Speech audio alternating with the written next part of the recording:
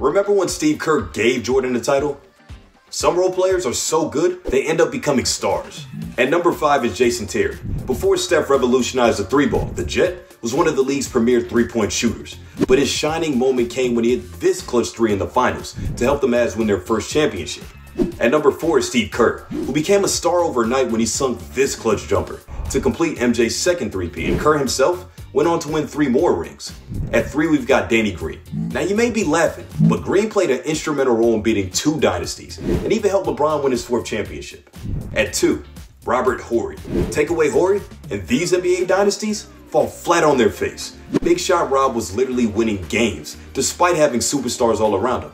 And at number one, we have Dennis Rodman, who averaged less than 10 points a game in his career, but developed into one of the best rebounders and defenders in NBA history.